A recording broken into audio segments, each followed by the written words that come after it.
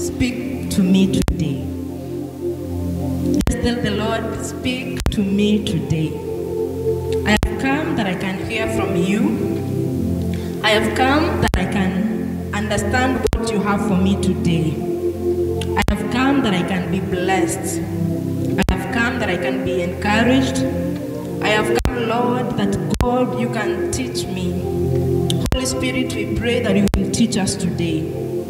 Holy Spirit, I pray that you will speak to us today, that you will touch our hearts today, that indeed our lives will not remain the same. That as we've come here this morning, this day, it is not in vain that we have been, we've come in the house of God.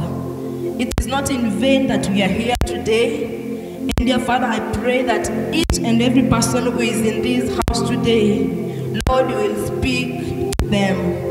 You will speak to them in a way that they'll be able to understand. You will speak to them, the Lord, they will be inspired. You will speak to them in a way that God, they will see your love and they will know how much you love them, how much you care for them, and how much you have in store for them. And how they will desire and des- they will have the zeal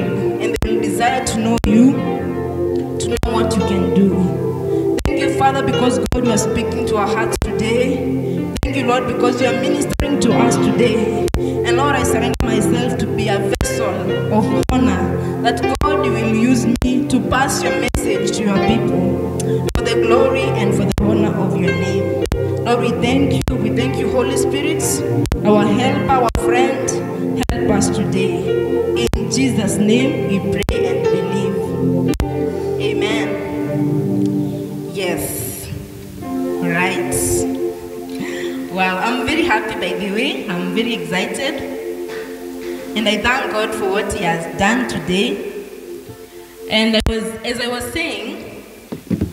wakati nilipoambiwa nitakuja kuhudumu na nitaongea kwa Kiswahili, nitachanganya ndio kila mtu tupate kuwa pamoja. Nilipangwa jana nitakuja kuhudumu, I really thought I prayed and you know like I've been recently I've been reading a lot about things on wholehearted living, things on courage. And it's so easy when someone tells you that you are going to speak, let me just go and share what I have been learning. But maybe that has been mine. What does God want his people to hear? Mungu anataka watu wake wasikie nini leo?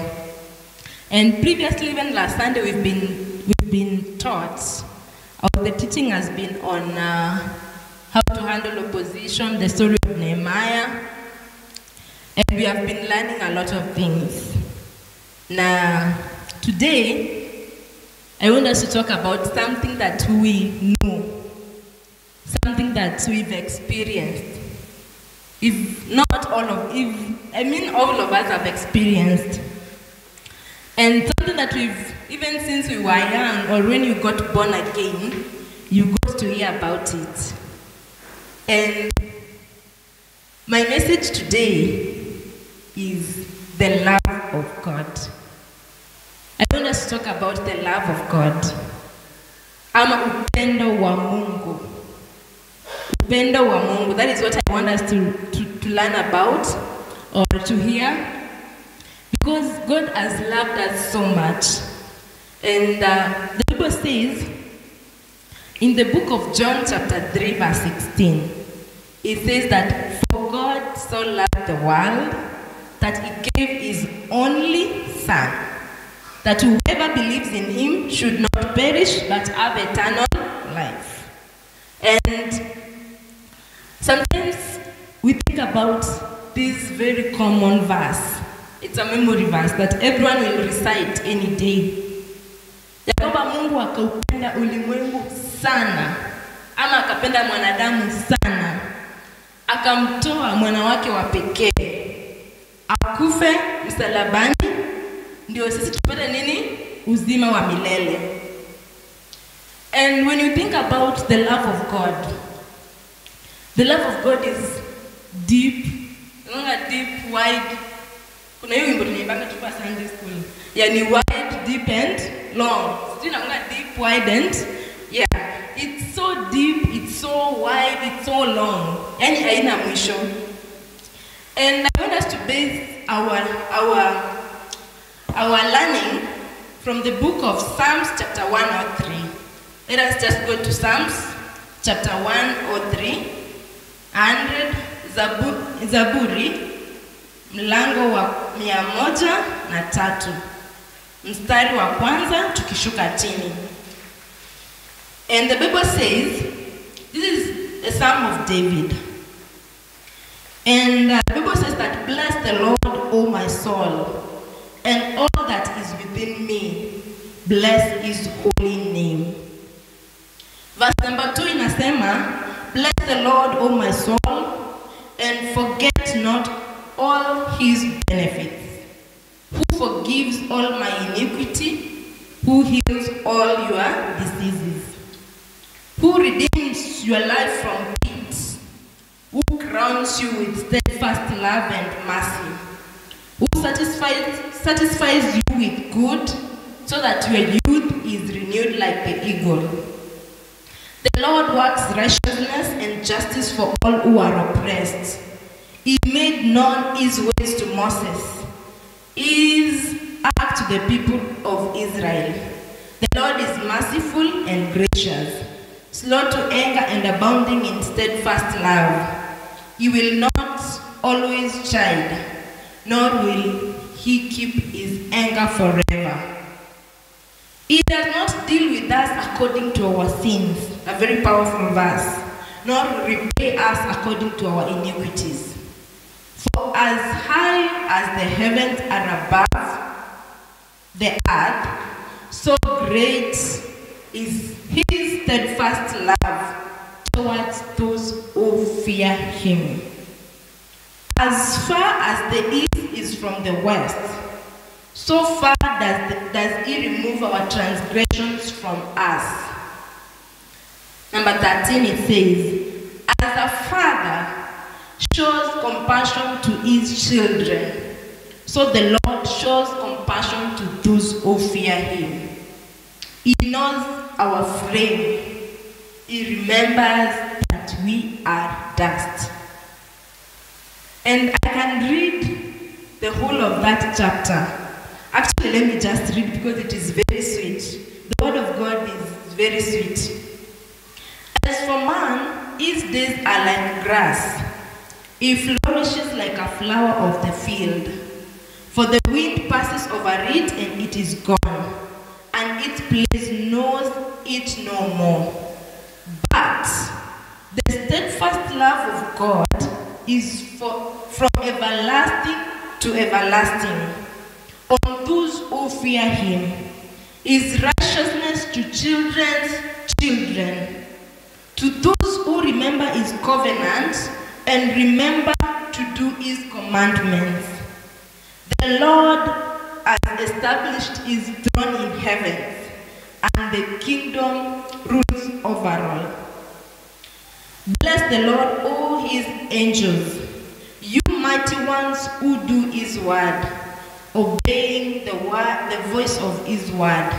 Bless the Lord, all his host, his ministers who do his will. And when we go through this um, chapter, the whole of the chapter, it talks about the love of God.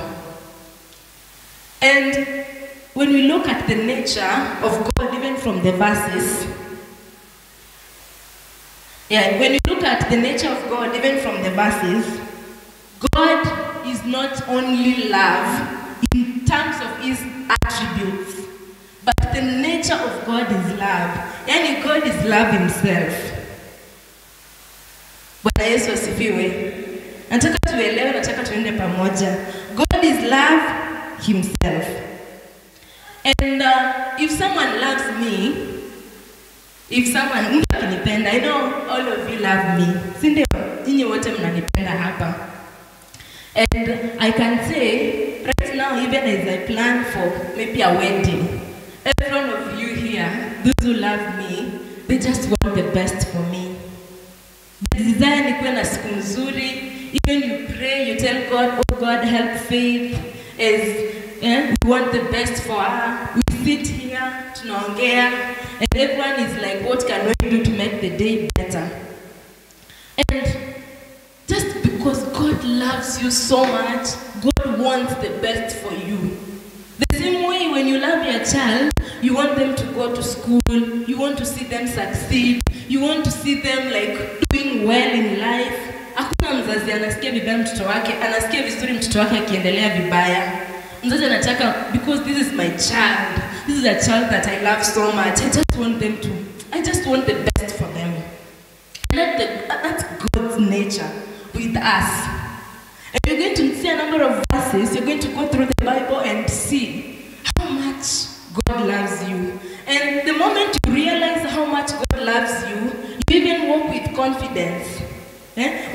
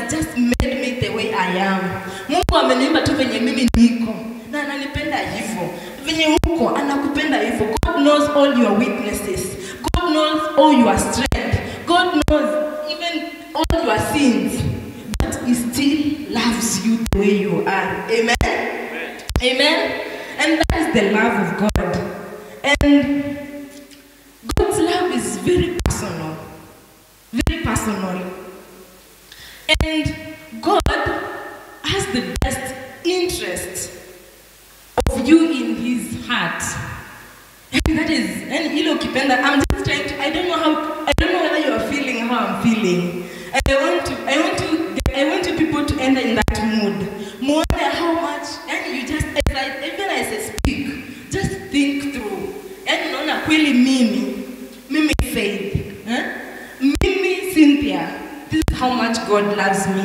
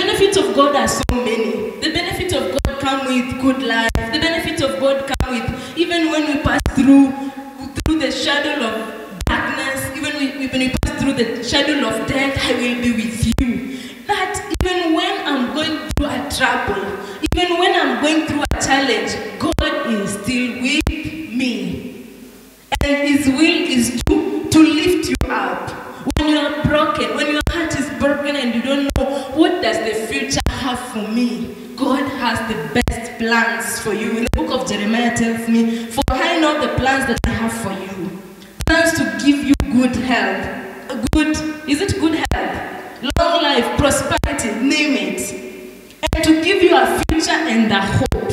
Yani the plan of God is to give us a future and hope. That we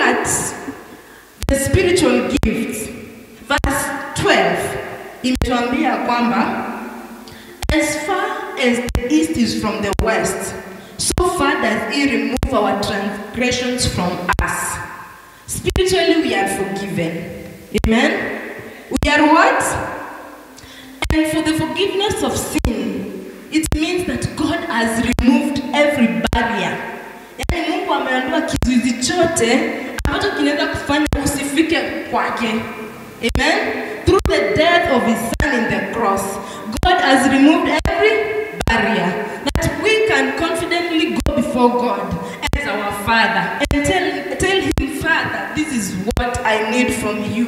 Father, this is what I'm going through. I need you to redeem me from this situation. And the removal of the barrier that separates us from Him by canceling the debt of our sin so that we can enjoy a loving relationship with Him. And God loves forgives our sins as though they never existed. That I have removed your transgressions as far as the east is from the west. Yani kama dhambi yako ilikuwa huku, yani, the way you did, eh, the way, the way maybe your sins were very dark or they were very dirty, God has cleaned you. Yani amekuosha kabisa. Na wewe umekuwa msafi kabisa. Amen. Amen. Another benefit of God's love is emotionally. And uh, I was saying, when I know how much God loves me, I will walk with a lot of confidence because I know I am not alone. Even when I lack, I know I have a Father who will provide for me. Even when I am not able to maybe speak, I know I have strength through Christ. Even when I think that I feel like things are not working my way, I know God has the best. So even if things don't go my way, heart. Amen. Ya kwamba Mungu ile yake yenye amenipangia ndio nzuri zaidi kuliko yenye mimi nataka. Because he is a father. Amen. And you are emotionally happy when you know God loves you. Amen. Sometimes it can get to a point and you feel like no one anakuelewa. Even the people that you trust most, unapata they are far from you.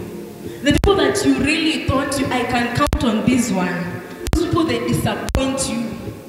Maybe you, you had a lot of faith in your husband, and now your husband it, is in a place that he cannot help you. You had a lot of faith in you. You thought my, my wife loves, loves me so much, but at that time because your wife akona limit, akona limitations. at that time they cannot come through for you. You can find yourself in a very dark place where only God. And when you're in that place, you should always remember the love of God. Amen? You should always do what? Remember the love of God. And another benefit that comes with the, the, the, the love of God is an eternal gift. Whereby in verse 4, we have seen who redeems your life from the pit who crowns you with steadfast love and mercy. In that pit, God will rescue you. God will, will grant you mercy and love. Amen? And when you go to the book of Re- Re- Re- Revelation, chapter 1, I want us to read the book of Revelation, chapter 1. The love of God is in every book. You will find, you will see, in every story of the Bible, you will see the love of God. So when you open the book of, of Revelation, chapter 1, uh, verse 6, I can start from verse 5. Revelation 1, chapter 5 and 6, it says, And from Jesus Christ, the faithful witness, the firstborn from the dead, and the ruler of kings in, on earth, him who loves us and has freed us from our sins through his blood. He has made us a kingdom, priests to his God and Father. To him be the glory and dominion forever and ever. Verse 6 inasema, and made us a kingdom we we reign or we are we are in a place whereby we've been crowned with royal glory and authority on us. Ya kwamba we are just not mere human beings, but we have the glory, the loyalty of God. We are a kingdom. Mnajua venye kingdom zinakuanga. We are a kingdom. We are priests. That is how much God, Jesus did for us after He died and He resurrected his blood, he freed us from our sins and he made us a kingdom, priest to his God the Father. And we can only glorify God because of what he has done. You know mimi I belong to a kingdom. I am a daughter of a kingdom, the kingdom of my father who loved me this much. Amen? As we learn about the love of God, To change our mentalities. Nataka tu, tubadilishe the way we think. Sometimes when you, when you grow in the church, you know, you, are, you are told humility, which is very good. You are taught how obedience, which is very good. And uh, mara mingi, even myself, at some point I used to think of God as um, as a deity. Unaona ile yani unaogopa, you cannot just say anything. Huwezi tu huwezi enda mbele Mungu tu useme chochote. You know you are like you have a limitation of what should I say? You are fearful because you know God sits in a throne. But the moment you realize God and you know Him as your Father, eh, unamjua kama baba yako. And you know He is all powerful. And you can imagine the daughter of our president. The says if we see if Ruto enters in this house, sisi wote tutakuwa tunasimama, si ndio? But msichana wake huh? you see, there's wale wenye like sisi we may not even get close to him. But the daughter, because this is my father, so he will be like daddy. That's why at some point hata unasikia watu wakisema um, uh, they are not able to differentiate between the father and the president because that is you've known him as your father and he is a father to us. Amen. Amen. And in terms of physically, God, the gift, the love of God will give us the gift of strength and endurance. That hata wakati mambo ni you will endure knowing my end is not my beginning. Amen. Ama the future is luminous. And as we say, there's, there is light at the end of the tunnel. Because tunnel, because you know that God is with me. So whenever, whenever no matter how things may look like right now, I know the future because I'm loved by my Father. It might be difficult today, it might be very hard today, but tomorrow will be better because I have my Father who loves me and who cares for me and who has the best, the best in his heart for me. Amen? And you look at Jesus, I think when even we look at the process of how Jesus was crucified, died, uh, because of the love of God, he could endure all that. Eh, alikuwa anajua baba yangu bado ananijali. Even when we, he cried to his father, akisema niondolee, if it is in your will, remove this cup from me, like away from me. He knew, like Jesus knew, the father was very powerful, but, but God's will was for us to experience to experience His love. Amen. And when you see, I just want to go back to Psalms 103 again because that is where I based my entire message on. When you look at verse number 6, it says, The Lord works righteousness and justice for all those who are oppressed. But if today you feel there is something that has been oppressing you, the love of God can set you free from that oppression. And uh, as I continue with what we are learning today, even from the verses, we can say that the love of God is all consuming. It touches of my life, be it spiritually, be it emotionally, be it socially, be even financially. The love of God touches all aspects of my life. And there is nothing, there is, there is nothing that can separate us from the love of God. Amen? And we see a verse that talks about that. Romans chapter 8, verse 32. Verse 35, sorry. Romans chapter 8. Romans chapter 8 verse 35 inasema ya kwamba who shall separate us from the love of Christ? Shall tribulation or distress or persecution or famine or nakedness or danger or sword?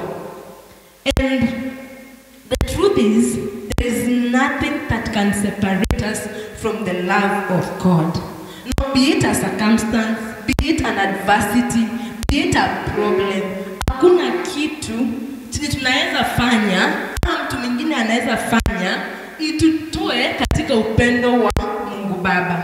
Amen. There is nothing that can separate you from the love of God. And that is how much God loves you.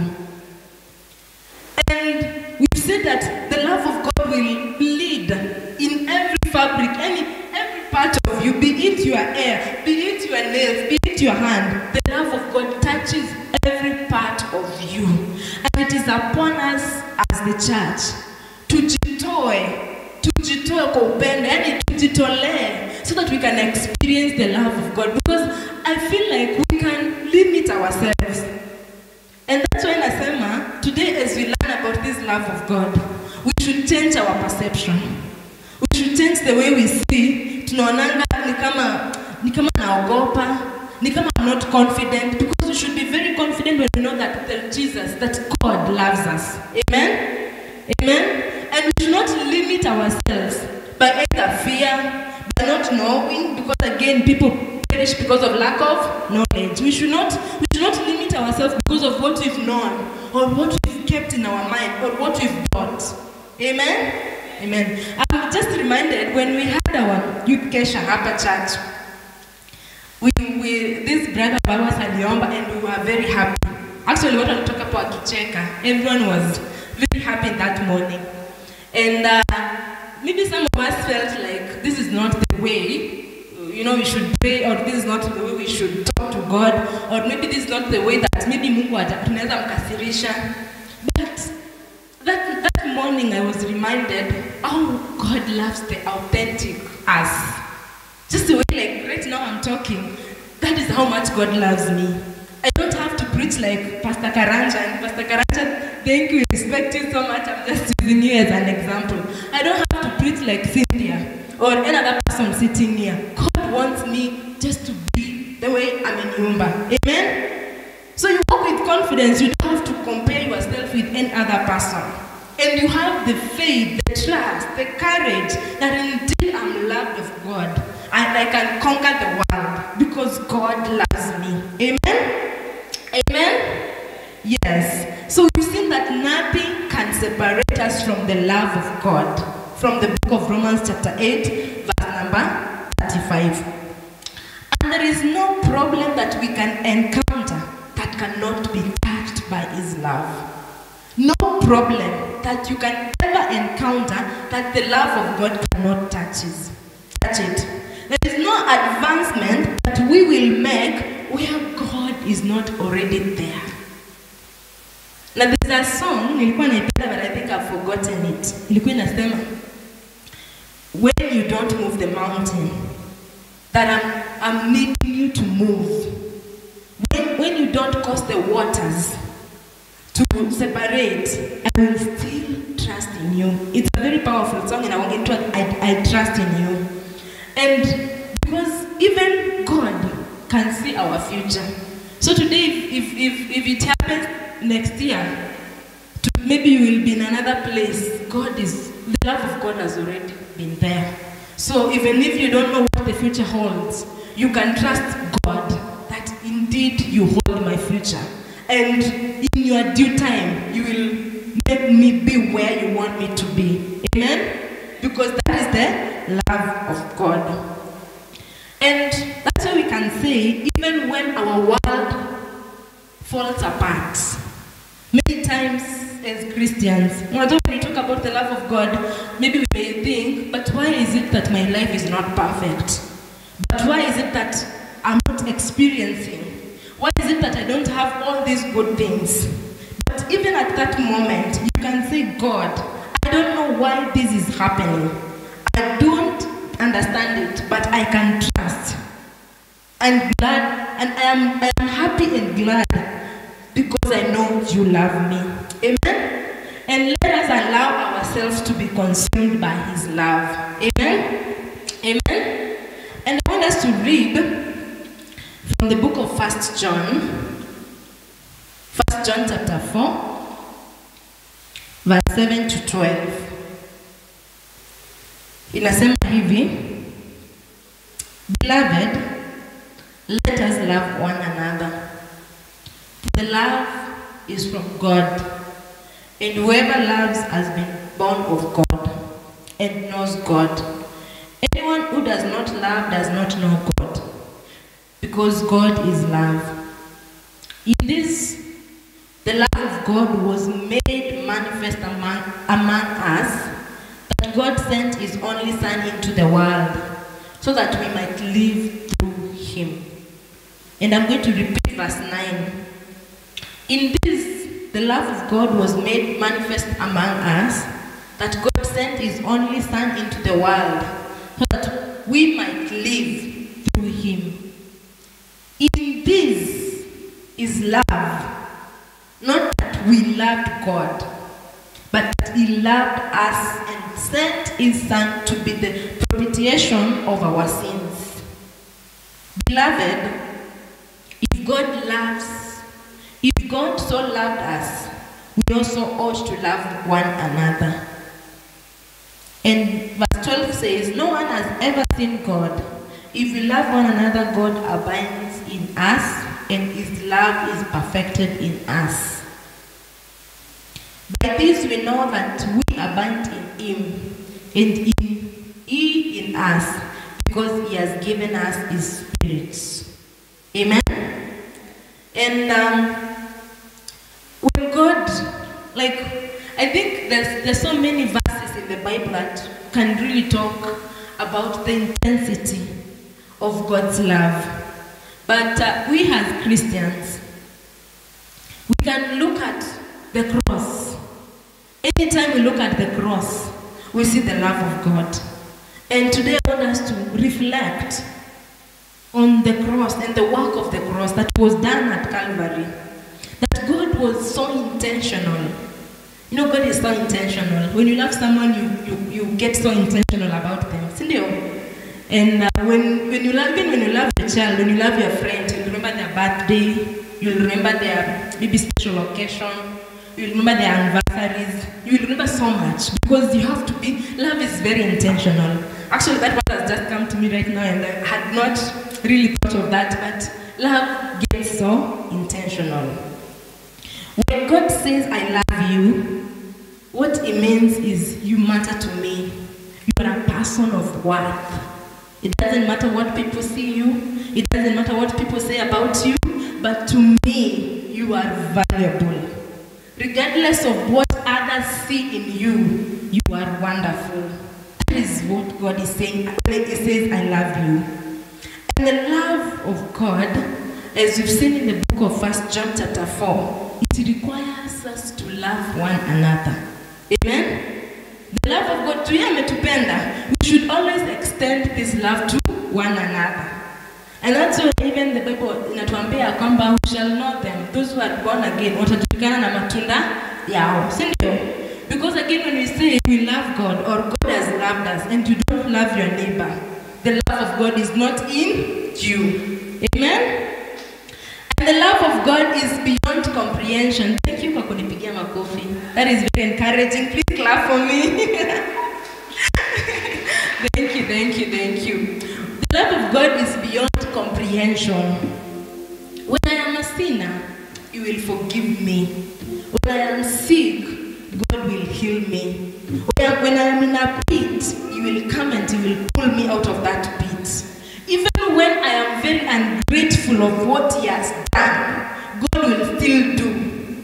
Yeah? My ungratefulness will not limit Him from blessing me. I may not say thank you after waking up in the morning, but the, the following day He will still wake me up. Maybe when I have done something very wrong and I deserve justice, God will show me mercy. That is why we are saying the love of God is beyond comprehension. And when we look at the story of the prodigal son, that is the story when we talk about the love of God, we cannot we cannot talk about the love of God without mentioning the, the story of the prodigal son. From the book of John chapter 15. Maybe you can just look at it.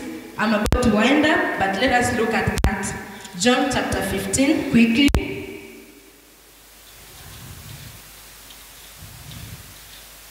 John chapter 15, verse 13.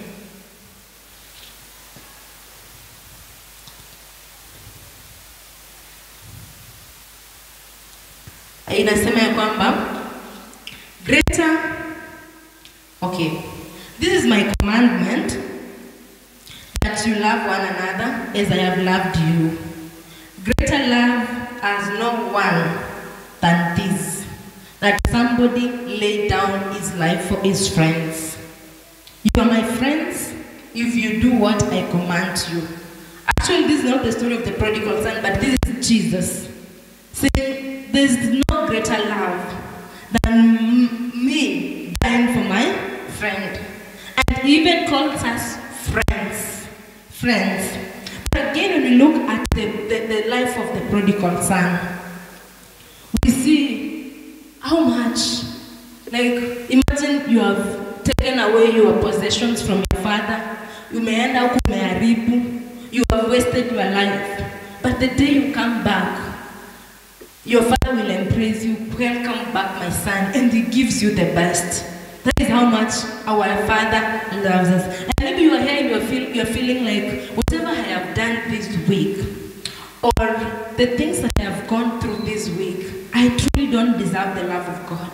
God is saying to you, my child, I still love you. It doesn't matter what you have gone through, it doesn't matter what you have done. My love for you is unchangeable. It is beyond comprehension. Amen? Amen? And again, you cannot experience the love of God. A very important point. If you are not born again. The love of God is there. You need to be born again for you to experience it. Amen? You need to be born again for you to do what? To experience it. But the love of God in the entire humanity. I'm not saying God doesn't love those who are not born again. God loves everyone. But for us to experience this fatherly love, we have to accept that indeed Christ is our friend because he died for our sins. And uh, as I conclude, I want us from today to embrace, and I use the word embrace, God as our Father, and to know in everything that you do, in every situation that you go through, God loves you so much. God cares for you. God has his best interest for you in heart. And God wants to give you a future and hope. God wants to give you long life. God wants to give you the best, the best, the best that you can ever get in this life. Amen? Amen? That's, that God does what God wants to give us the best. So tunapotoka hapa siku ya leo, if you have children, you are a parent. Know that God wants for your children, children, hata kwa wajukuu, God loves them. Na God wants the best, the best, and the best for them. And God thinks of you very highly. Anakupenda sana. So from today, never look down on yourself. Never think, ne- never think that I'm not worthy.